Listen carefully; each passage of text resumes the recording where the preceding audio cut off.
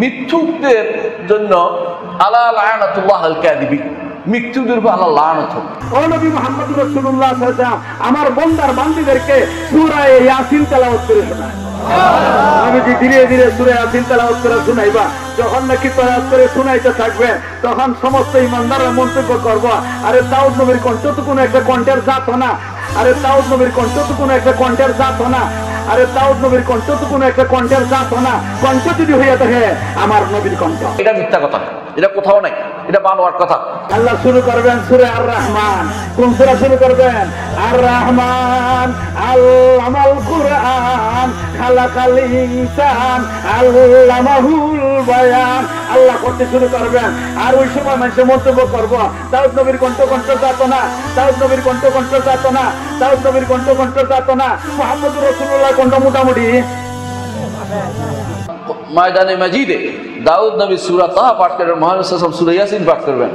জান্নাতীয় মন্তব্য করবে, বলবে, দাউদ নবীর কণ্ঠ কণ্ঠের জাত না। উক্ত কথা কি সঠিক? আল্লাহ আকবার। আস্তাগফিরুল্লাহ আস্তাগফিরুল্লাহ। ইন্না লিল্লাহি ওয়া ইন্না ইলাইহি রাজিউন।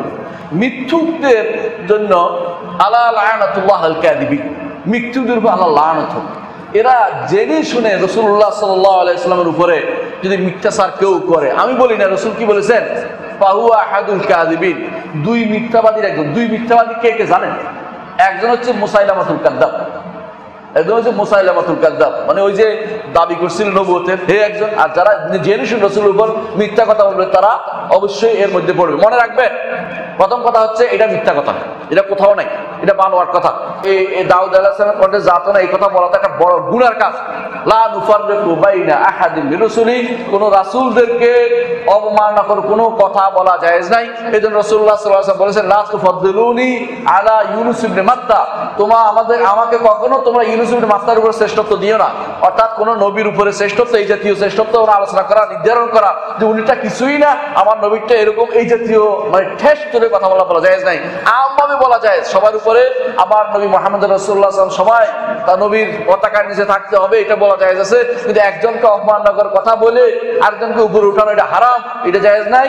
এটা কুবুরি হয়ে যাবে যদি কোনো এটা বলে, তাকে আল্লাহ নিষেধ করছে যে কি বলছে? লা